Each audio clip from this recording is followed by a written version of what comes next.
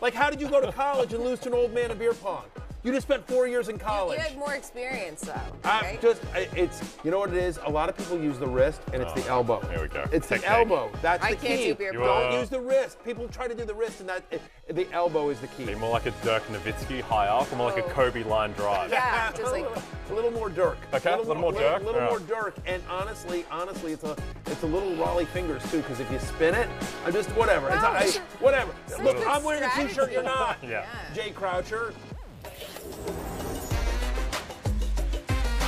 Fantasy Football Happy Hour with Matthew Berry, served by Applebee's. It's noon on a Thursday on Peacock, but it is 5 o'clock somewhere. He's Jay Croucher. I'm Matthew Berry, and welcome to the Fantasy Football Happy Hour. Jay Croucher, you don't get to wear the shirt unless you're the champion. I sent the clip of me talking about my beer Champion. pong, beer pong prowess Yes. to the neighborhood yesterday. It was a whole text chain, very spirited text chain about that. But the fact of the matter is, is two years running, me and John Mendez have taken on all comers, and all comers have gone away losers. Okay, we need to get uh, Blake from research onto uh, your kind of history of beer pong and kind of validate. I need a results sheet. I want some video as well. I want to see this Dirk Nowitzki high arc. Yeah, yeah, yeah. It's it's uh, The there, there German been in your shot. There have been some complaints that the elbow goes over the table a little Yeah, bit. I I'll be can see honest that. you. It's, I'm not it's, uh, be honest. Listen, I'm, Yeah, I'm six foot in. one. You know, I got I got long arms. I got long reach. Everyone knows about that. Um, got long reach. All Hey, it's love hate day. It's love hate day. Uh, don't love the game on tonight, but it, there is, there's a fair bit going on. As your shirt references there, make Carson Wentz great again. Certainly needed because he's not great right now. He certainly is not. There- Ron Rivera sent me this shirt. Yeah, I can imagine. Look, I think like right. Truth of the matter is, is JP Finley, our, our colleague here at uh, NBC Sports, he, he does a great job covering the uh, Washington Commanders for NBC Sports in Washington. He actually sent me the shirt. Yeah. But he probably got it from Ron. Yeah, I'd Ron say probably so. Said, hey, hand these out to a bunch of people if you can. A lot of people are making the joke, particularly after last week's game, that you know tonight is the night to really spend time with your family, Yeah. something like that. Everyone making that gag is watching Bears Commanders. It's football. Uh, it's going to be great. I think this game might be a bit more interesting than people anticipate. There's a little bit going on. I do, I, I do too, because both teams' backs are against the wall. You have two really desperate teams, and so when when you have two desperate teams, interesting things can happen. We'll get into that game uh, coming up in We a little bit, but But- first, Rotoworld headlines. Let's jump Roto into World it. headlines. And the first one is Kyle Pitts, and then we'll talk about consistently. He returns to practice from his hamstring injury. He's now expected to play Sunday. Are you just starting Kyle Pitts across the board? I'm not. I mean, first off, I need a new T-shirt that says "Make Kyle Pitts Great." I, I would say again, time. but he hadn't been great, right? I mean, like we're, No. we're still waiting, Arthur Smith. We're still waiting. Jay, for the season, Kyle Pitts is tight end 23. Right? He's had one game, one game this entire season where he's had more than two receptions and more than 25 receiving yards. Last week was his best game of the year, and I'll tell you why. I mean, he got a zero. It was his fourth game with single digit fantasy points out of five this year. But the exciting thing about last week was he, he was ruled out before the game. I know. So you knew to bench him before the game as opposed to every other week when you find out on Monday, oh, I should have benched him. Yes, America's Nightmare was briefly put on pause for one week. I still think you have to start him. Like he still is a guy who had 23 point games back to back last year. The talent hasn't gone anywhere. And the big thing is the Falcons, they've like we talked about yesterday, they've covered all five Yeah. of their games. They're the only team in the league that has done that. And eventually they're going to get into a game script where they have to throw the ball. And this Niners defense is scary, but Emmanuel Moseley's done for the year. Nick Bosa is in some doubt. You might be able to throw a little bit on the Niners, and they might be in a position where they have to throw. And also, it's still Kyle Pitts. Right. I mean, they, they may have throw, you know, like whatever. Hey, hey, Kyle Pitts, can you block? We're going to scheme KhaDarel Hodge open. You know, um, uh, you know, Zaccheaus. You know, we're going to try to get him deep for one or two. You know, uh, run Drake London on some decoys. The fact is, Jay, is that yes, the Niners defense is a little bit banged up here. And you're probably right. You probably have to start Kyle Pitts because you likely don't have a better option than him. I will say he came in at 10 in my initial ranks, which is for a guy that was drafted in the third round um, and the third overall tight end in every fantasy league. That's really low. It's the lowest I've ranked him all year.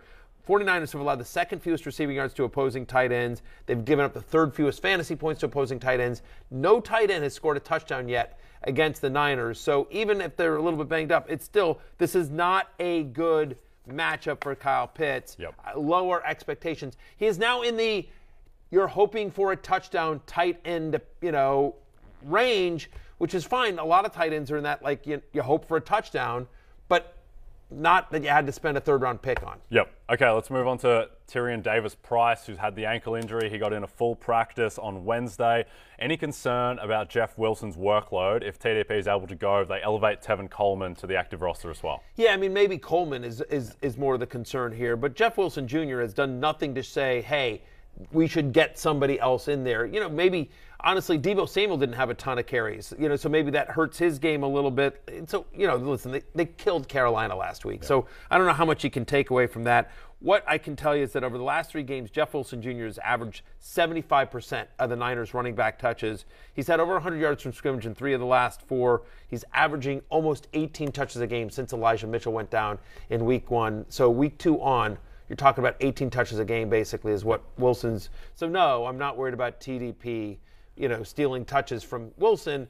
Again, this might be more of a, uh, you know, take a touch or two away from Deebo Samuel in the backfield or Kev- Tevin Coleman. Yep. Like I said, Niners five and a half point favorites, and Kyle Shanahan is the type of coach where he does not want to put a lead in Jimmy Garoppolo's hands. They just run the ball. They run the ball repeatedly when they're playing like a lead, like we think they will be. Now, James Conner, uh, who's got the rib injury, he's considered day to day. So what We're do you make? all day to day. Yeah, The everyone. old Dan. Patrick line, you know. Yes. Yeah. We are all day today. We're so all what do day you, today. What do you make of Eno Benjamin with a chance to lead this Cardinals backfield? I think he's an interesting flyer. Like I picked him up in a couple of leagues where there wasn't like an obvious, you know, pickup, like you know Kenneth Walker's roster and everything like that. So I grabbed, you know, Benjamin because let's see, right? I, what I think is interesting here is that the Cardinals signed both Corey Clement and Ty'Son Williams to their practice squad, and like that's a lot of running back depth if all your guys are healthy. What that tells me is that Darrel Williams definitely doesn't look that great. And Conner, James Conner, the news came out, yesterday he's day to day, but does that mean he starts? Does it mean he gets a full workload? Eno Benjamin's had at least 45 yards from scrimmage and four targets in four out of the five games this year. I expect him to get at least that, if not a bigger workload against the Seahawks defense that has allowed over 100 yards to scrimmage, uh, 100 yards from scrimmage to every running back they've faced this year. Yep. Um, every single running back they've faced this year, in every game, I, let me rephrase that. In every game they've played, at least one running back has had over 100 yards from scrimmage, and so it's a really good matchup against Seattle. I do think Eno Benjamin might be flex worthy, even if Conner is active, and there's a chance that Conner misses this game as well, especially given his injury as well. By the way, watch the timing on this game. It's a weird one because Yeah, if the, the Mariners, Mariners. if the Seattle Mariners force a game four, the this game will be moved back to five o'clock, and so you know hopefully we get some news reports, you know, midnight, early Sunday morning that says yes, Conner's good to go or he's going to be ruled out. But just understand that as you start thinking about that game, whether you're going to start Benjamin or if you have Conner, or if you have both, that there's a chance you might you might be looking at a five o'clock start time Eastern time. Yeah, let's uh, let's hope Framber Valdez gets it done on the mound for the Astros. We don't have to deal with this Mariners situation. I think the, the Seahawks they give up the most rushing yards in the league. Weirdly, Seattle, which would not have been predictable preseason, they've become the best fantasy team in the league both ways because they just give up so many yards. And Geno's been so good, and we'll get to him. But firstly, some bit. more running Yeah, backs. come on, Astros. Just look, you already cheat. Can you just cheat one more time to get rid of the Mariners so we can have our football on time? That's all we're asking. Ed, you're just done. cheat one more time. You're already everyone already knows you guys are cheaters. So let's just you Why know, not? Why not one more time? Why not one more time? Two more wins. Houston. All right, Breece Hall. He makes the love list. He broke out 197 yards from scrimmage, touchdown, two yards away from Who's two the more worst cheater, by the way? Have you did you see this story that the the guys who there's these guys in Ohio. Uh, hang on for one second. There's these guys in Ohio. Swear to God, that they're in a fishing tournament and it's for a lot of money, and they put lead weights in the fish to make them weigh higher. Right, and there's a viral video of like other fishermen calling them out, and like total scumbags. These guys that weighted down the fish. Um, and now there's chances, I guess, that they're going to get like charges draw, brought up against them um, uh, for you know for theft because they were trying to steal the money of the prize money. Anyway, who's a bigger cheater? Is my question to you. Is the fish the Ohio fisherman or the Houston Astros? I think the thing with the Houston Astros is that it was such unimpressive cheating. They were banging trash cans. Right. It's the 21st century. Uh, exactly. There's so much technology. Jose Altuve, Yeah. don't touch my buzzer Yeah. as he, he rounds bases. It's unbelievable. So you, think Ohio they were the fishermen. worst cheaters because they were, weren't clever enough? Yes, because they were worse at cheating. That they makes were worse them at bad cheaters. They were bad cheaters. Because the, the fish guys apparently got away with this for quite Yeah. some time. It took a while before people, uh, you know, figured out that they were just, you know, shoving some, you know, uh, lead pellets down these uh, these fish's gullets. You, you played tennis growing up, right? I did, yeah. Yeah. So when you had to like call your own balls in or out, like when you're a kid growing up, you kind of, you know, the ball slightly got the edge of the line, you call it out. No, I will tell you. I will tell you a true story. Um, because I was really, I was a really frustrating player to play because I wasn't like overpowering. I was one of those kids. You hit it 15 times, I got it 16 times. You Yeah. could do it 18, like a junk ball pitcher. Like Lleyton Hewitt. Yeah, like just literally like all I did was all I did was just get the ball back. But I was super consistent, and so like I would drive people crazy. And it was just like like a batter who strikes out four. It's like that guy doesn't have any junk. Like guys, he's thrown nothing but junk. That guy has no actual stuff. Like it's I'm swinging at like 85 mile curveballs. So like people would get really frustrated playing me because like it was all unforced errors. Yep. And so I would get accused of like call, you know, they're like, well, that was it. And And so sometimes in that happened, you could get somebody from the the kid the tournament to come and call lines. Oh no. And no, it was great because what would happen is when they did that, then I'm like, okay, now it's on, and I would just destroy them right then. Like I was no, listen, I was like I was ranked in the state of Texas. I like my I was the number one singles player on my high school team that finished third in the state of Texas. Texas big state. It's a big play- state. and heard play, a lot of good tennis is played there because you can play year round. So I'm just saying, like, back in the day, um, and so yeah, and, and so it was always worse for them after once it quote got called fair. Oh, no. You know, Then it became Matthew destroyed Berry's it. Well, well, 'cause destruction they- tour. now you're t- now you're questioning my integrity and f you, and so then like it, it kicked it up another level, and then they never won a game after that. Okay. Well, another And then they were like, and they're like, oh, I, I guess I guess you were calling it fair. another destruction tour that's going on right now is Breece Hall upon the NFL. I thought you meant this podcast because we're way off the rails. Yeah, we've already destroyed this. So why do you love Breece Hall this week? You think he's the guy going forward in that backfield? He has been. He has been. I mean, he's had back to back games with over 19 touches, Jay, three straight games with 15 or more fantasy points. He's averaging over 42 receiving yards per game, which is the second most among running backs as well. And you love this matchup against the Green Bay Packers defense that is coming back from London, right? I, I don't love teams that don't get the buy off of the London game. They're coming off of a bad loss to London, and they allow 5.1 yards per carry to opposing running backs. That's the fifth most in the NFL. They're bottom 12 run defense on the season. Even in, you know, we, we think about that, that Chicago game.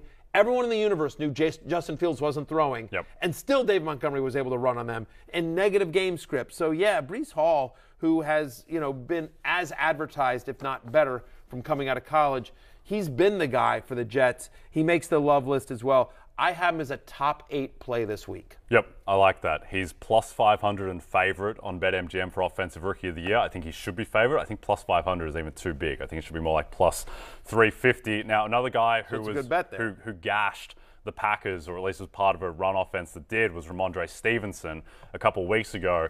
He makes the love list playing at Cleveland. Yeah, look, so Damien Harris is out. We talked about this yesterday on the show as well with, with Julie. When Rhamondre Stevenson gets time, when he gets work, when he gets snaps, the dude rocks, man. Six career games with 15 or more touches. He's had over 100 yards in four of them. He's averaging over 16 fantasy points per game in those games, including last week, where, as you see on your screen, 27 touches for 175 total yards. Rhamondre Stevenson not only is going to get a ton of work here as Damien Harris isn't going to play, he's got that hamstring injury. Ty Montgomery's not going to play as well. So maybe it's Pierre Strong. Like you see, you'll see a couple of guys mixed in, but it's mostly going to be Rhamondre Stevenson against the Browns team that's allowed the fourth most rushing yards to opposing running backs so far, the second most rushing touchdowns. They've given up over almost six yards per carry to the position.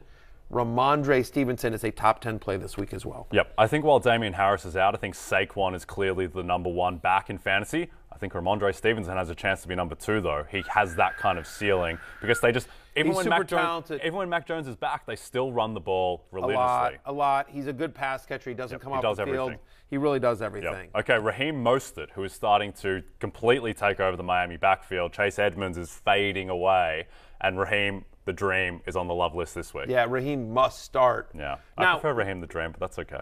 I'm sure you do. Not your show. um, you could do that on a button.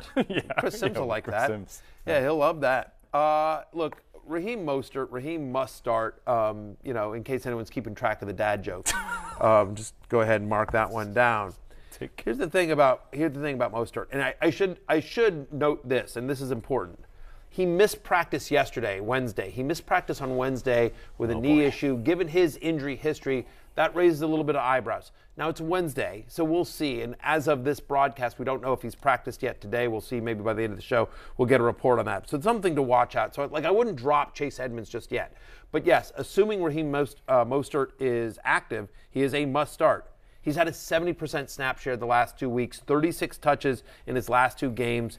75% of the Dolphins' goal to go touches over that stretch among running backs. He's had over 80 yards from scrimmage. You like the matchup with Minnesota that's allowed over 80 yards from scrimmage to a running back in four out of five games this year. And then you sort of think about how this Dolphins team wants to attack Minnesota. It's going to be Skylar Thompson under center.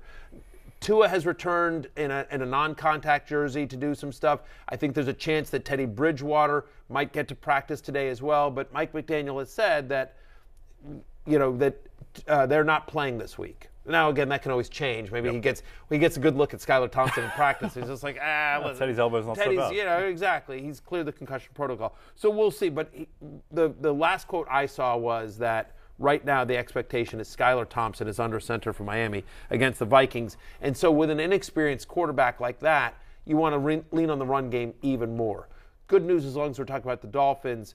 Full participant in practice yesterday for Tyreek Hill. Yep, Jaylen Waddle will play as well by all indications. Now, some others receiving votes Kenneth Walker against Arizona, J.K. Dobbins at the Giants, and then Eno Benjamin, who we just spoke about at Seattle. Yeah, we talked about Eno Benjamin. So again, I think he's a viable flex even if Conner is active. Kenneth Walker.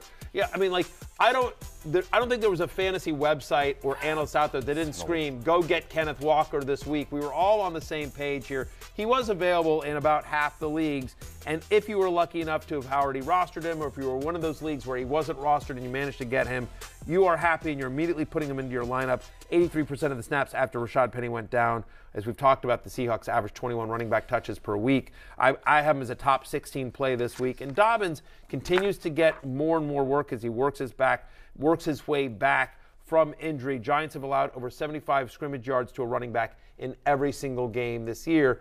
Dobbins should lead the backfield for the Baltimore Ravens. If you had Breece Hall, would you trade him for Kenneth Walker? Because Kenneth Walker's in a better offense. Think he has probably less competition, but it's all Breece at the moment because of that game last week. Do you think that there's a chance that Kenneth Walker is the best rookie running back going forward? Obviously, not forgetting Dameon Pierce as well. Yeah, I don't mind that as well. I mean, I I, uh, I don't have a problem with that trade. Yep. And I think you could probably get that trade. I think 95% of people would do that. I'm Right. not sure they should. In terms of, I would I might rather have Kenneth Walker. Right. Oh, Yeah. I would say what you're saying. Yeah. I know um, that they would not. 95% of the people would not want to trade Yep. away Breece Hall. I think it's close. Yep. Which, by the way, just gives you an idea of how excited we are about Kenneth Walker. But I said this. I said this when Penny went down. I've said this all week. I'm not the only one to say this. But Kenneth Walker legitimately has a chance to be a league winner this week, Yep. this year. Now, a guy that people drafted hoping he would be a league winner was Najee Harris, who was a top 10 pick across the board. Not League playing loser. like it. Yeah, I'd much rather have Kenneth Walker than Najee Harris the rest of the way, I think. And so, hate list, Najee Harris is on it. Yeah. By the way, I agree with you, and I think that that's a trade that could get done. Yes, Like, it- you know, definitely. like so something to think about there. He's had one game, right? It, it, it, I- my article, by the way, my love hate article that's out now and is 100% free on rotoworld.com, on NBCSportsEdge.com. Of course, I'm a company man.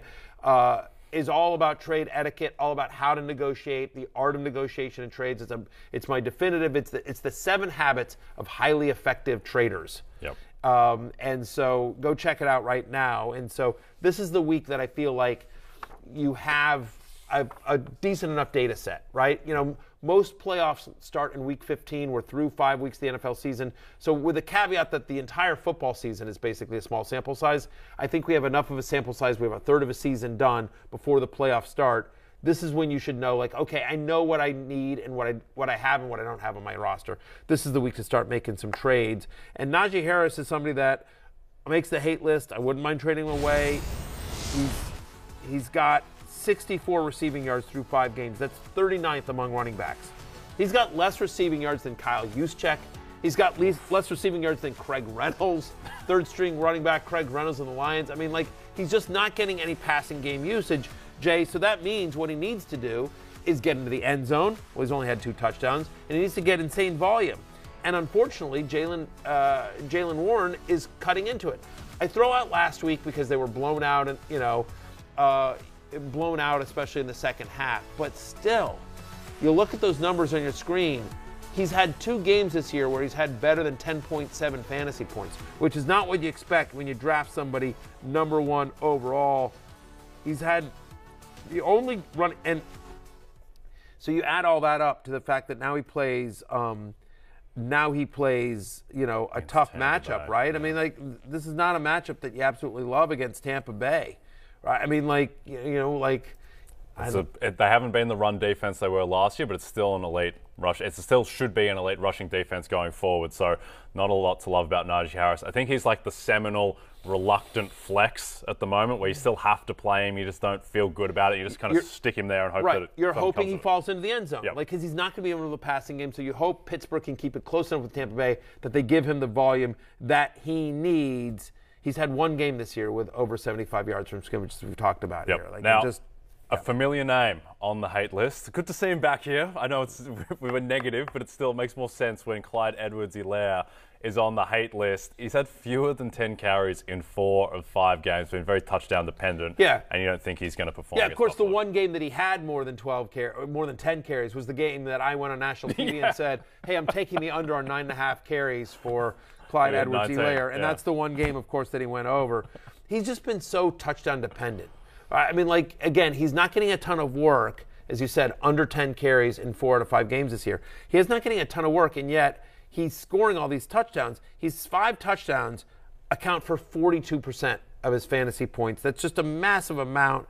Um, it's not a great matchup with Buffalo. Bills have allowed the fewest rushing yards to running backs this season. They allow the second fewest yards per carry to opposing running backs so far this year. Um, I just I don't love Clyde Edwards-Helaire. It's worth noting that last week when the Chiefs got down pretty big to the Raiders and had to catch up, Jerick McKinnon actually played Yeah, more snaps than guy. CEH uh, last week, and so certainly you would think that in this game against a you know potent Bills offense, there's a chance that happens again. That they get down by 10 points, 17 points, and all of a sudden it's a lot more Jerick McKinnon. Clyde Edwards-Helaire comes in for me at uh, running back 26 this week, so Flex. mid-tier flex, and ideally you're using a wide receiver there. Yep. Bills are minus three in Kansas City. And the way to think about how crazy that is is that home field is worth one and a half points. So if this game was in Buffalo, they're saying Patrick Mahomes would be a six point underdog, which I'm going to say uh, it's just never happened. I know it's never happened. So uh, pretty crazy that uh, KC at home, three point dogs to the Bills, but at the same Feels time. like they're feels like they're begging you to take Kansas City. That's what they want you to do. Yes. They're begging you to take Kansas Patrick City. Patrick Mahomes is incredible as an underdog. It doesn't happen too often. All right, Ezekiel Elliott, another underdog uh, in a big game against Philadelphia. Dallas are now six point dogs. We talked about how we liked Philly minus five yesterday. It's already minus six on BetMGM. Yeah. And uh, Are you moving Elliott- markets, Jay Croucher, by yourself? Is that what's happening?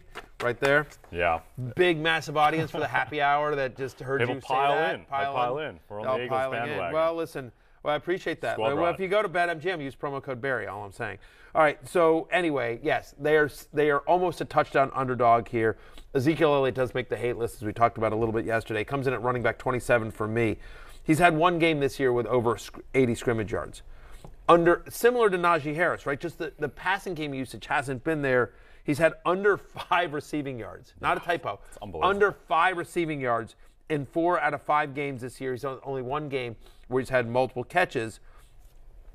And I hate this matchup, right? So now you're like, okay, so he's not getting passing game usage, so he needs volume and touchdown equity. Well, the volume's not going to be there because Po- Tony Pollard's getting some Yeah. run as well. So now you're hoping he gets into the end zone, and that could always happen. You never know. It's, it's fluky. It's worth noting that the Eagles, a really, really good run defense. There's one running back, one running back so far this year through five games to reach 65 scrimmage yards Yeah. against the Eagles. Like that's not even that high a bar to clear, and yet only one guy has done it was D'Andre Swift, who's a much more a dynamic player than Ezekiel at the respective places of their careers right now. So I don't know. Teams facing the Eagles this year are averaging 17 running back touches a game. That's lowest in the NFL. So you're like, okay, they're getting 17 touches against these Eagles, and we know Pollard's probably getting like at least eight to 10 of them. Yeah. You know, I mean, I probably like probably more like eight, six to eight. So I don't know. I, I don't know. He's I'm ideally you are not using Ezekiel. I think better days are ahead for him, especially once Dak comes back. But ideally, you're not using Ezekiel Elliott Yep. this week. Okay, when we come back, pass catcher, love, hate, Yeah. receivers, some tight ends. Logan Thomas not on this list, strangely. I'll figure out a way to get him in.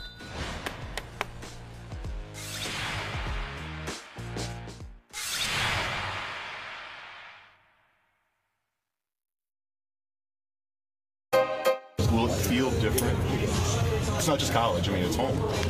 It shouldn't feel no different. It's another game. I'm just playing at home, you know, in front of my family and friends. That's all. Um, you know, it's exciting to play in front of those guys. That's why uh, emotions can be high. That's why I'm there. Louisiana food. I'm sure it's not like beignets for you or certain something that you have to get when you're in Louisiana. Um, I'm gonna get a voodoo roll, like stuff with shrimp, crawfish roll, and other sauces. So All right, we are back on Love Hate Thursday. Yeah, a lot of hard hitting questions there. Yeah. Uh, some top notch journalists there in New Orleans. or Indeed. In Cincinnati. Yep. Uh, asking Ja'Marr Chase, that's whose voice you just heard, asking Ja'Marr Chase, uh, what are you going to order when you go back home to Louisiana? The tough questions. I can also confirm to the viewers and listeners that Matthew just spent the two minute break confirming to me that he was actually an incredible tennis player and likened himself to Bob Knepper, uh, who in Major League Baseball was the 1981 NL Comeback Player of the Year. So, shout Bob out. Knepper was like just a junk pitcher. Like he was just a guy that, like, you know, like. uh, Like I said, Like like, I was the I was the equi- R, yeah, I- R.A. perfect example. I, you know, um, I was the I was the equivalent of a guy that like you're like, well, this guy's he's got the worst stuff out there. Yeah. And then you look up and he's gone seven and two thirds. He's given up three hits, Yep. one walk, and zero earned runs. Like, like everyone would they would play me and they'd be like, you're not any good. Like you just push it like no no big serve, no Yeah. nothing. And then you look up and you're like, oh, I just won six two six one. And like. Six out of ten of everything, ten out of ten for Kobe mentality. I And totally. just I was. I was. Uh, yeah, I had the Mamba mentality before before it existed. Yeah. Okay. Um, Let's jump into love hate. Ja'Marr Chase, who we've heard from. He is on the love list despite being maybe the most underwhelming top wide receiver pick. It's been a little bit disappointing. You know, he's. I think he's wide receiver 16 on the season. So he's been fine, okay. but he's not. He, you drafted him as a top three guy, and you, Yep. you certainly wish you had Stefon Diggs or Deebo or some of the other guys that went a little bit after him. He's going back to Louisiana, so that was the the you know they just talked to him as as locker and the hard hitting questions like, what are you going to order? like, like at that point, just hang up your journalism degree. What are you doing? At that point, just I got Come nothing. on. Come on. At that point, whoever asked that question, like, what are we doing? What are, are we, we doing? like? You know, you got 10 minutes in front of the, his, the guy's locker after practice. Could you ask anything? Yeah. You know, about food. Anyway, yo, what kind of food? Where are you gonna go? You know, voodoo rolls, right? Whatever. I don't know what that is. Um, at any rate, he is going back to Louisiana. Obviously, played his college ball at LSU with Joe Burrow, so a homecoming for both of them. Um, uh, and LSU in Baton Rouge, not New Orleans, but it's all the state of Louisiana. I just want, I don't want the, You I don't want someone the, comes at you for that. well, just you, there's grammar police, and then there's geography police. Yeah. There's a lot of police on Twitter. Yeah. On the Twitter. So I just want everyone to be aware that I, I know where LSU is. Uh, and I will say that I think this is a good matchup. The Saints overall have a pretty good defense, but you can beat them deep, Jay. No team, oh, only one team in the NFL has allowed more deep passes than the New Orleans Saints this year. They've allowed the fifth most deep receptions to opposing uh, opposing wide receivers as well. They give up 14.3 yards per reception. That's fifth most in the NFL. Overall, they've given up the eighth most yards to wide receivers. You think about what DK Metcalf and Tyler Lockett did to them last week: three touchdowns, 192 yards. And, and so Ja'Marr Chase, who comes in here, and the other thing is, by the way, Marshon Lattimore missed practice yesterday for the Saints. He's he's either going to be less than 100% healthy or he's going to miss this game, which would certainly be a boon to the fantasy prospects of Ja'Marr Chase, especially by the way, if Tee Higgins is less than 100%, which sort of still seems like he is. Yep. So it sounds like you're buying low on Chase. Now's the time to put in a trade offer for him. Because I think that with Chase, like teams have adjusted, like they're shading safeties over more to him. But Yeah. at some point, like talent is just unguardable, and there's too many other guys on that team where they're going to figure it out at some point. Quarterback's too good, he's too good. And like you said, Saints have been bad against deep passes. Yeah. They're missing Marcus Williams. Lattimore, even if he does play, hasn't been up to his usual standards. So uh, Bengals two point favourites in that game. Uh, so the mark is expecting they'll turn it around a little bit in New Orleans. Now, Marquise Brown, who is seeing Cooper Kupp type volumes, averaging 12 targets per game the past month, and he's on the love list, like many people will be against the Seahawks. To your point, 55 targets this season. That's tied for the second Sir. most among wide receivers, Jay. Through six games, I'm sorry, through five games. Through five games, I think people would be surprised to learn that Marquise Brown is the seventh best wide receiver in fantasy football. He's now had three straight games with over 20 fantasy points. Doesn't feel like anyone's talking about him, sort of weirdly under the radar for a guy that has been that good and that productive. Double digit targets now in four straight games. And the reason we mention the targets we keep harping on how many targets he's getting is that wide receivers that have faced the Seahawks and have gotten at least six targets are averaging 15 and a half fantasy points per game. Marquise Brown is a top six wide receiver for me this week. Remember, last week before DeAndre Hopkins shows back up. Yep, I was just going to say, I think now is the time to trade Marquise Brown. Maybe there's someone in your league who's not paying that much attention, who's just kind of forgotten about the existence of DeAndre Hopkins, who's just about to come back uh, and is going to, he's not going to average 12 targets a game the rest of the season. By the way, I also think this is, as I kick the sign here, I just stretched out my leg. Uh, I also think this is a time to trade DeAndre Hopkins. Yeah. I sure. think his perceived value is higher than what it actually will be. Yep. So right now, like, hey, he's coming back next week. Oh, DeAndre Hopkins. Like, there's a chance DeAndre Hopkins is like a rich man's version of Allen Robinson. Wow. Like he's slow. Like, by the, and the- I mean, like, here's I mean by this. What I mean by this. No, no, no. I loved DeAndre Hopkins. is One of my favorite players in the NFL. I love DeAndre Hopkins.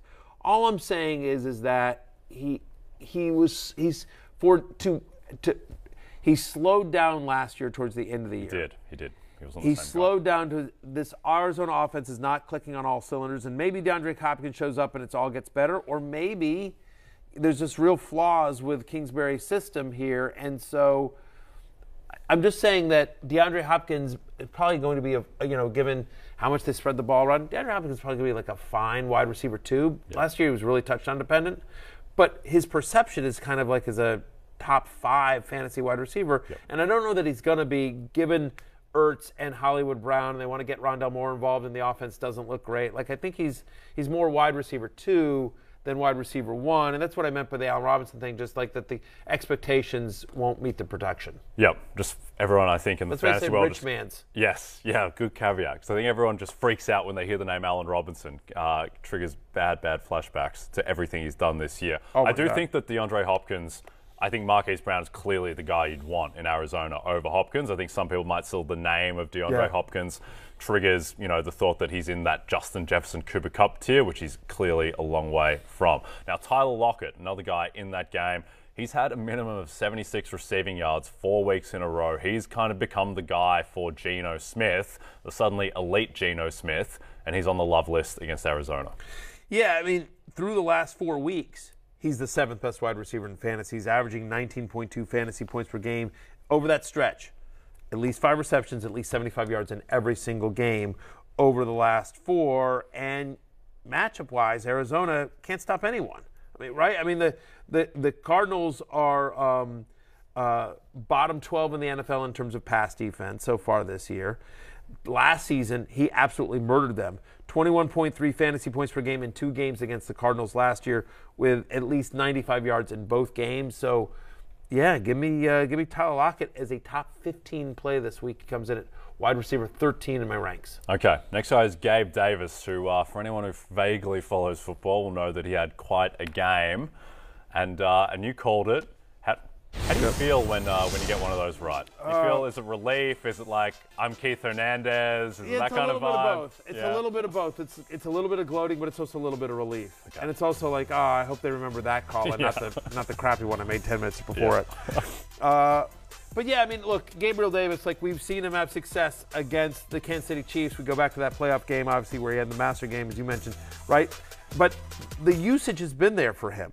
He's played on 95% of snaps in three out of four games. That the last week's blowout was the one game that he didn't. And hey, now what? Just while I'm talking, got an alert on the Fantasy Life app. Raheem Mostert, Durham Smythe, back practicing at Dolphins Thursday. There you go. There Fire him up. Yeah. Fire up Raheem the Dream. I, I don't think Durham Smythe is necessary to, to grab, but good to know that Mostert is uh, uh, practicing in full, it appears. Anyway, my point is, is on Gabe Davis. We, we know the talent is there. We saw it last week, you know, the, the two great catches in the long runs. He had three catches overall. Uh, we've seen it um, uh, previously as well in the playoff game last year against the Chiefs. What are we expecting this week against um, Kansas City once again? Worth noting, Chiefs have allowed seven touchdowns to wide receiver. That's tied for the third most in the NFL. Yep. Yep. I think that Gabe Davis certainly, uh, there were a lot of reasons the previous two, three weeks. There were a lot of caveats. There was the weather in Baltimore. The Miami game was weird where they were selling out to stop the receivers. So Devin Singletary went off. I think he can safely fire up Gabe Davis probably for the rest of the season and certainly for this week. Now, Chiefs have allowed the fifth most receptions to opposing wide receivers as well. Uh, and there's going to be a lot of points in that game. Uh, we saw what happened in the playoffs. Those teams cannot stop each other. They're both just defense agnostic. All right, Zach Ertz at Seattle. He's had a minimum of six receptions in four straight games, and uh, he's kind of becoming your uh, your stable of guys who's just frequently on this list every week. Maybe. I keep hoping that he'll, he'll sort of break through and make it. I- He makes the love list this week because not only has he been you know really good this year, he's had multiple red zone targets in four out of five games this year. So I think he gets in the end zone here. I like him as a anytime touchdown bet, and I certainly like him against Seattle, as the Seahawks have allowed the most yards to opposing tight ends. You know, like like they just give it up. Start your tight ends against the Sea- Seahawks. Yeah. The, Detroit Lions looked like they were going to be the fantasy team, just both sides, and uh, they didn't want it, and so now it is Seattle. All right, some others receiving votes. We've got Christian Kirk, Jakobi Meyers, Curtis Samuel, George, a couple of Georges, Pickens and Kittle, and then Hayden Hurst. So I'll just mention Kirk real quick, uh, who had two touchdowns in Week Two against uh, New Orleans. against the Colts. Yeah, I, I'm sorry. Yeah, against uh, what I uh, say, New Orleans. Sorry. Um, yeah, Christian Kirk, uh, Christian Kirk had the big game in Week Two against the Colts. Right, he had the two touchdown passes. Colts struggle against the slot. They allow the fifth most yards after the catch per reception to the slot. So Kirk comes in as a top 20 play for me this week. Jakobi Meyers, as we've talked about, this is again one of those ones that would surprise you. So far this year, he's the eighth best wide receiver in fantasy on a points per game basis, averaging nine targets a game. So there's a nice floor there with Jakobi Meyers. With no uh, no Jahan Dotson tonight, we're going to talk about this game in a little bit. But Curtis Samuel, I think, is somebody that I do think is worthy of starting. Uh, he's had six or more receptions in four out of five games this year, leads the team in target share at 22%. And finally, we keep waiting for a George Kittle breakout game. I think this is it. If it's not this, Yeah, if it's not this, then we're trading George Kittle, and we're just like, if he can't get it done against the Falcons, that is bottom three in the NFL in terms of most receptions and yards allowed to opposing tight ends, then I don't know what to tell you. Yep. Like, it, so I think it's a George Kittle week here uh, for uh, for pass catchers. Yeah, I think if he doesn't play well this week, I think that's the time to trade George Kittle because he, like DeAndre Hopkins, he still has all of the name brand value Yep. of being George Kittle. All right, let's jump into the hate list. First guy is Mike Williams playing against Denver. Yeah, I mean, we're expecting uh, Patrick Surtain to uh, to shadow him as well. Chance that Keenan Allen comes back, which would limit his target share. And it's worth noting that the Denver Broncos have allowed the second fewest yards to wide receivers this season. They've given up only one touchdown to a wide receiver so far this year, and that's as currently constructed.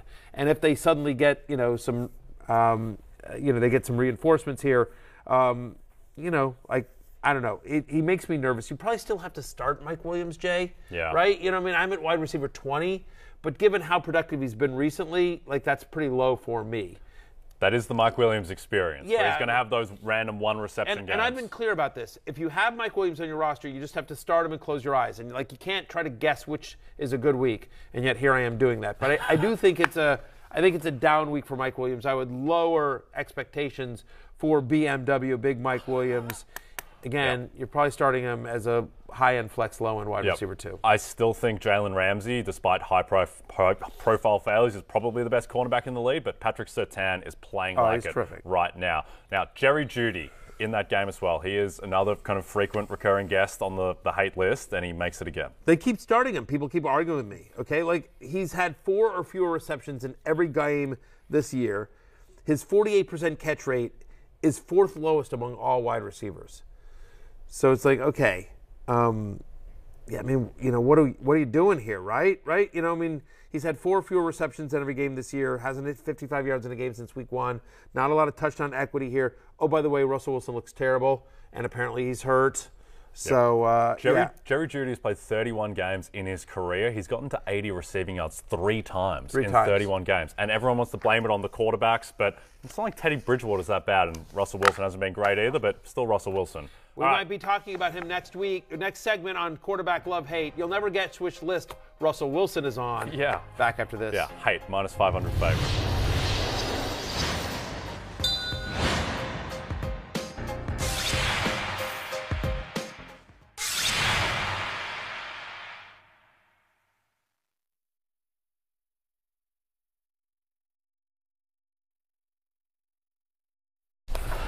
Okay, here is where you find the content of the man on my left, Matthew Berry. Uh, obviously, you can watch us on Peacock and at youtube.com slash NFL on NBC on demand. You can listen to us on all major podcast platforms. NBC Sports Audio, channel 85, Sirius XM. You can follow Matthew at Matthew Berry TMR, and you can find all of his written content, NBCSportsEdge.com slash Berry. Yeah, I'm at Matthew Berry TMR on all forms of social media except the Fantasy Life app, where I'm merely at Matthew Berry. So if you want to follow me on that, great alerts there on the Fantasy Life app. Go ahead and check that out. Okay, let's jump into some quarterbacks. A guy who I think was And by on the this way, list. here, I would just like to, for people that are listening, uh, like, I, I just want to ask people, like, in all seriousness, we're trying to start a new show here, you know, like the podcast. Like, I'm, I went over, I came over from ESPN. I'm over here. Appreciate everyone that's following me. If you want to support the show, if you want to support me, if you don't like Jay, whatever your, whatever your, you know, point of view is, uh, as a favor, I would ask that you go and you you like and subscribe to the podcast and leave a comment, leave a review, leave a five star review. You don't have to mean it. You don't you don't have to mean it. It just whatever you know, like just leave a five star review, like and comment. You don't ever have to listen to the show. No. we just want the clicks. Say I'm don't above a pity click. I'm not above a pity click. Matthew. Everyone knows that. Berry. All right. I've said that to my wife many times. I'm not above a pity click. No, we love the pity For clicks. pity clicks for the for my podcast. That's Pity what I said to my wife. Yeah, Yeah, a pity click. pity clicks. There you go. All right, let's jump into the love list. Tom Brady, who was on this list last week, I believe, starting to pile up the yards and uh, has a very kind matchup. Well, a relatively kind matchup at Pittsburgh. They're big favorites in that game. Yeah, I mean, he was on the love list, made me look smart. He's back on the love list again. 22.6 fantasy points in two games since Mike Evans and Chris Godwin returned. What do you know? You get two, you know, really good wide receivers back. all of a sudden, helps. you come, you look like Tom Brady again. Both those games, he had over 50 passing attempts, over 350 passing yards, and now he gets a Pittsburgh Steelers, a decimated Pittsburgh Steelers team, a team that will be um, honestly struggling to move the ball against Tampa Bay. Steelers, bottom three in the NFL in both passing yards and passing touchdowns allowed this season. They just gave up 424 and four touchdowns to Josh Allen. Not saying Tom Brady's Josh Allen, but he's pretty damn good. I am as a top six quarterback play this week. TB12 is a top six. Yeah, good, good. Well, well done. That was a nice- TB12 is T6. Yeah, you just. They're yeah, not all winners, kids. No, they're not. Been up all nights writing love hate. The big, the big thing with Brady is the 52 attempts last week in a game that they were winning the entire time. So he is clearly back to being the, the pass happy guy that he was last year when he finished QB three in fantasy. Okay, Geno Smith, uh, another guy who is becoming a recurring guest on the love list. Uh, to me, he is just you just kind of pencil him in as a very startable quarterback each week, and the Arizona matchup is very friendly. So far on this season, Geno Smith is the sixth best quarterback in fantasy. Multiple touchdowns and 17 or more fantasy points in every game this year, but one.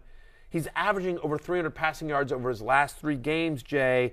And you mentioned the Arizona matchup here. This is the second highest uh, over under on the slate per BetMGM. 51 is the last number I saw uh, for this this matchup. So we expect a lot of points to be scored here. And and I use by the way, and I use Geno Smith as the perfect example of because my whole column this week is all about trades. Yep. And why you should never veto. Don't veto. when you veto, it is your way of saying, hey, I'm not good enough to win on the virtual field. This is my way of trying to like circumvent the rules and use like a you know a technicality to try to beat you because I can't do it honestly. Everyone should be allowed to coach their team, even if it's badly, right? I mean, because the, think about this: at the beginning of the year, Jay Croucher, Yes, Matthew. if you and I were in a league together and I traded you, you know, I traded you Geno Smith for Russell Wilson. Yeah. Everyone would have said, "Whoa, that's a lopsided trade. You're taking advantage of the dumb Australian." right? That's what people in the league would have said. Yeah. And you would have actually looked smart five weeks in because no one wants Russell Wilson and Geno Smith is the sixth best quarterback in fantasy, right? Exactly. Same thing at the beginning of the year. Hey, I'm going to trade Jared Goff for your Matthew Stafford. And everyone would have been like, whoa, why you keep taking advantage of the dumb Australian? And I'd be like, because he only knows Australian rules football. And I'm like, no, no, no. Trust me, Goff's going to be good this year. And you know what, son of a gun? He is good this year, and Stafford isn't. My point is, is that you never ever know. You could have traded G- Geno Smith for Javonte Williams in Week One, and everyone in the league would have been up in arms. Yes. And yet now you're sitting here, one guy's out for the year, and the other guy's the sixth best quarterback in fantasy. My point is, never, ever, ever veto. You don't know the future, and even if it's a bad trade, it's not your job to coach somebody else's team. Never veto. A lot of passion. I th- I'd rather have Geno Smith the rest of the season easily over Matthew Stafford and Russell Wilson. I think there's a case as well over Aaron Rodgers and Derek Carr. I think that's in play. All right, Kirk Cousins. So I'd probably rather have Geno Smith than maybe that's But it's that's a- close. that's a- but that's a- close. that's a pick 'em, yeah. that's very close. And so he's at Miami. A Miami defense has really struggled this year, and so he's on the love list. Yeah, no, no Byron Jones in this one. Uh, Howard's been banged up as well. Dolphins allow the fifth most passing yards this season, right? They're allowing 8.3 yards per pass attempt. That's third highest in the NFL. And Kirk Cousins, as we talked about in the preseason, like Kevin O'Connell wants to throw. He's had at least 38 pass attempts in four straight games. He's had over 270 passing yards in every game this year but one.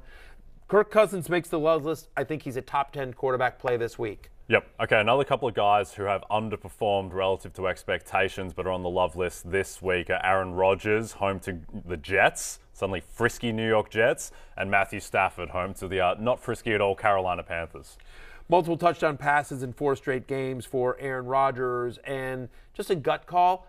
Losing in London, I, I just think they come back and like th- this is a game that I just feel like he has to get right here. I'm at QB 13, so I think he's an upper tier quarterback too, um, as well. And so you know, um, Aaron. Uh, so you meant that's Aaron Rodgers. Also, just mentioned Trevor Lawrence real quickly sure. as well. I, I know it's been bad the last two weeks, right? But he faced these Colts in week two. 18 and a half fantasy points against them. And then people are like, well, you know, the Colts are so good against opposing quarterbacks. And I'm like, they are. They, they're, you know, top 10 in terms of fewest fantasy points allowed to opposing quarterbacks. But look at who they've faced Davis Mills, Lawrence in week two, who put up 18 and a half against them, Mahomes, who put up over 18 fantasy points against them, Ryan Tannehill, and then Russell Wilson in that disaster of a Thursday game, Thursday night game last week, right? So, both Lawrence and Mahomes, the two good quarterbacks they faced, the two even decent quarterbacks they faced, both did over 18 fantasy points. I like Trevor Lawrence as a QB2 with upside. He comes in at QB 14 for me this week against the Colts. Yep, nice. And just quickly on Stafford, I do think that he is, he's been a little bit, like everyone thinks he's just rubbish now, but he's not because he's gone up against the 49ers and Cowboys defenses the past two weeks who make him look worse than the Carolina Panthers defense will. Okay, let's Yeah, jump and in. one of the issues with Stafford has been he's been so under pressure, right? You know, and because that offensive line stinks. Carolina is 27th in uh, in sack rate, Yep. so he should have a clean pocket there. I'm as a top 12 play, back-to-back games with 40 or more passing attempts for Matthew Stafford. A guy who has had a lot of clean pockets and it hasn't mattered is Russell Wilson, and he headlines the hate list. Yeah, I mean the, the truth of the matter is with with Russell Wilson, right? Is is that look think about what he first off he's apparently hurt. I don't know if you saw that. Like, you know, the, the minus 5,000 I mean, right, ex- right. It was just, cash. it was absolutely like a, a uh, great call here, right? Um, now, listen, a lot of people saying like, okay, partially tor- torn labrum. I hear you. Um, I'm not sure what that has to, what a, la- a torn labrum, a partially torn labrum, has to do with missing a wide open KJ Hamler at the end of the game. I'm, uh, maybe it like affects your vision. I, I don't know. I'm, I'm not a doctor. I'm not a doctor, but um, I will say this. He's had fewer than 12 fantasy points in three of the past four games. He's had one game this season, one game this season, Jay Croucher, with multiple touchdown passes. Like Chargers top 10 in the NFL in yards allowed per completion. This is you know this is a good defense that's getting healthier. He's just looked bad, right? I mean, there's nothing there's nothing in this that you've seen from Russell Wilson where you're like, yeah, give me that guy. He's one raid, then abandoned ship at the moment. Yes. I don't know what's he just looks like a broken umbrella of a quarterback at the moment. All right, sad one to go out with Carson Wentz tonight at the Chicago Bears, the mighty Chicago Bears, but he's on the hate list regardless. Bears have more recep- interceptions this season than touchdown passes allowed. Like this is a good defense in Chicago. Um, only two quarterbacks have managed to score more than 17 fantasy points against the Bears. Kirk Cousins and Daniel Jones, and both of them did it because they both had rushing touchdowns. Could Wentz get into the end zone on his own, on his leg? Sure, maybe. But the fact of the matter is, is that there's only two quarterbacks in the NFL that have taken on more sacks than Carson Wentz, who's going to be behind a bad, beat-up offensive line against this Bears defense. No Jahan Dotson, no Logan Thomas in this one. Dyami Brown's a little bit banged up here. It's a Thursday night game. Our friends at BetMGM, we're going to talk about this in a little bit later, but the, but our, our friends at BetMGM are pretty smart. They've set his line at 218 passing yards. Very low. Very low. So I'm like they they're saying that we think that's the range. Yeah. You know whether you want to take over or under on that, but they, we're saying 218 yards. So anyway, all this Wentz is outside my top 15 um, uh, for for the week. You know, so anyway, just there's a lot of negative stats around Carson Wentz. Um, appreciate uh, we had a we had a listener of the podcast, Ron R from Washington D.C. Send all the negative stats in. So wherever you are, Ron R, we appreciate all those negative We stats. that. And uh, good work uh, weaving in Logan Thomas into the segment, even though he's not playing. Good job by you. All right, we're going to go to break.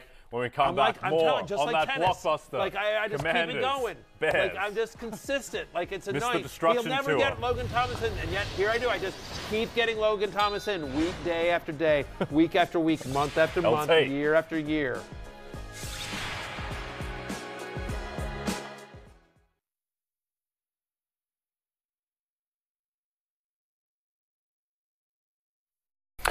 The action never stops at BetMGM. Sign up now using bonus code BERRY, and your first wager is risk free up to $1,000. Simply download the BetMGM app, today or go to betmgm.com and enter bonus code BERRY to make your first wager risk free, again, up to $1,000.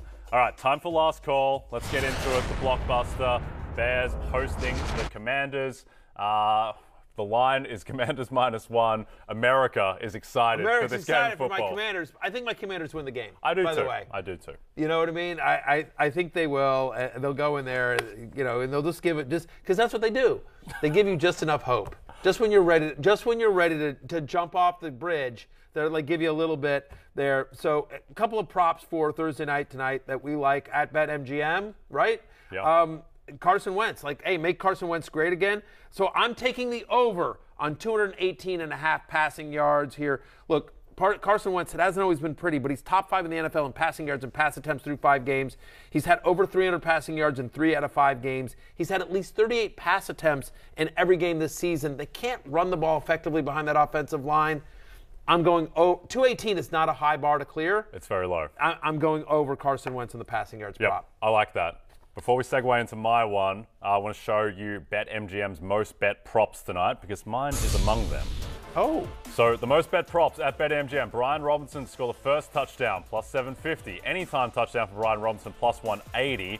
And Curtis Samuel, the number one wide receiver in Washington these days, over four and a half receptions, is minus 120. Now a lot of love for Brian Robinson. I'm going to pile onto it. I'm going to take him anytime touchdown scorer plus 180. I think it's just a very difficult market to price, and I think that look, Brian Robinson is the only good thing about the Washington Commanders at the moment. He's the only positive story out of that team, and I just think in prime time, if they get close to the goal line, he's their goal line back anyway. I just think they're going to go out of their way to give Brian Robinson his moments on a big stage, relatively for the Commanders, and I think they'll get him in the end zone. By the way, I like the public. Uh, you know, normally I don't, you normally want to fade the public, Yeah, but the, I like it I, all. I'm with you. First off, I'm in on Brian Robinson anytime touchdown. I'm also in on over four and a half receptions for Yeah. Curtis Samuels. We just heard me talk about how Dotson, Thomas, they're both out, and um, uh, and you know, Dyami Brown is banged up. He's hit that number in terms of receptions in every game this year except the Dallas game where he had four receptions. Yeah. So the over four and a half, I really like that for Curtis Samuel. Um, and by the way, we both think Carson Wentz, yes, to throw a pick this Yes. year. There's only five teams in the NFL that have less interceptions, uh, that have I'm sorry, that have more interceptions than the Chicago Bears. So this is a tough defense. Again, he'll Eddie- be he'll be under pressure.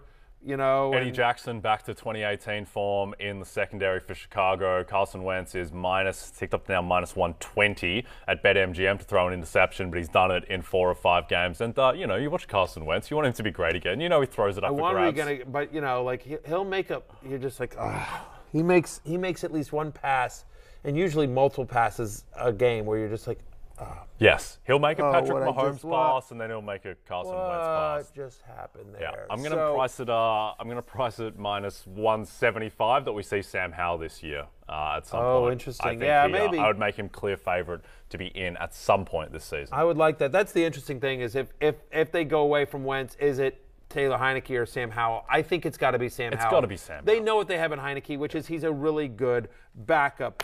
Go Commanders tonight. Listen, you don't have to go home, but you can't stay here. It is closing time. So for Jake Croucher, I'm Matthew Berry. We'll be back tomorrow. Good luck tonight, Commanders. Let's go. Peace out. Hi, I'm Mike Tirico, and thanks for watching. Make sure to hit subscribe for the latest news and highlights from NBC Sports.